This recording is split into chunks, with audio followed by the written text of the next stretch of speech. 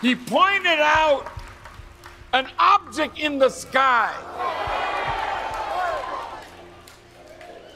A half a mile by a half a mile, the greatest mechanical object ever made. Having 1,500 little wheels or bombing planes.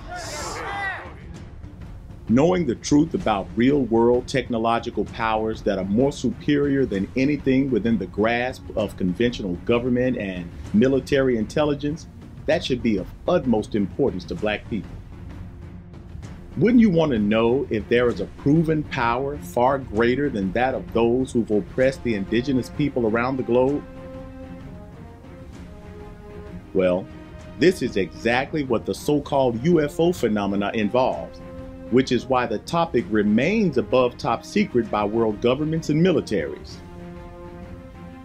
Oh, they have nothing to do with made up aliens, but everything to do with the original people of our planet. These are just a few points that we prove in our research publication titled UFOs and the Nation of Islam. A book that I must add has changed the game of UFO research, analysis, and disclosure.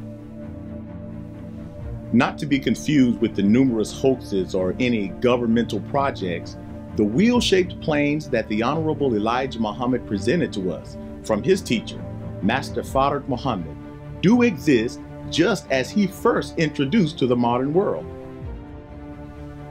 These planes, or wheels as he also calls them, are directly affiliated and connected to the Nation of Islam, the messianic roles of Elijah Muhammad and Minister Farrakhan. Think with me now. How the heck can religious leaders preach the scriptures, all of which depict God operating from a heavenly vessel, then neglect the real world proof of it? I'm not representing no fantasy God. I'm not representing no spook God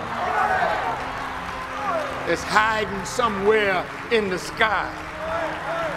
I represent the most high God who sits in that wheel that Ezekiel saw.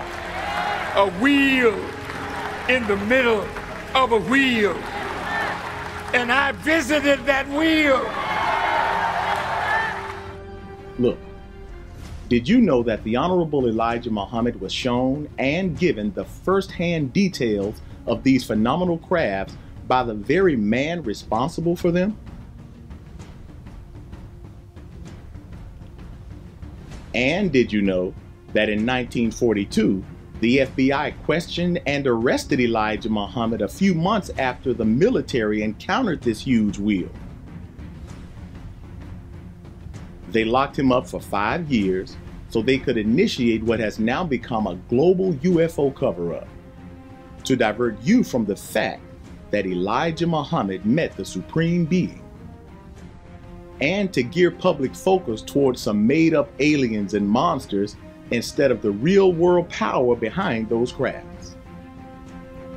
Because they know these planes are the clear fulfillment of the messianic prophecies concerning God in human form, his heavenly war vessel, and his chosen people. He brought me to that wheel like Allah brought Muhammad in a night vision to the inner sanctum of himself why do you think Farrakhan's critics don't challenge him on his connection to these wheels? As his students and representatives, we are more than willing to engage in public discourse with the best minds and scholars of the world regarding this heavily misunderstood reality.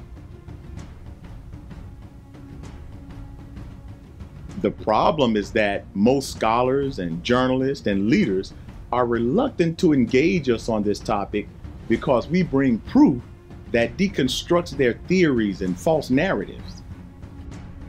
And while we thank the few who have engaged us, we hope that scholars and leaders will stop avoiding an intelligent discourse with us concerning this important topic. All your scriptures foretell of God's coming with his heavenly accompaniment, Yet scholars still ignore the Honorable Elijah Muhammad's real world proof. The U.S. Navy is preparing new guidelines for pilots on how to report sightings of UFOs. The world needs to know the truth. And quite frankly, the Nation of Islam has provided provable answers to this global phenomenon. That's the big secret that God, the Supreme Being, has come for His chosen people, and He brought proof of His presence. Knowing the truth about the most advanced wisdom and power in the observable world is of utmost importance. Knowing the truth about the representative of that power is equally important, especially since that power has given us representatives with the solution for our independence. It would be foolish to overlook this reality and the man who represents this reality. Damn it, I'm not no spook believer. I'm not no man that believe in fantasy. I know what I experienced. And I'm not a liar. I put my life on what I say.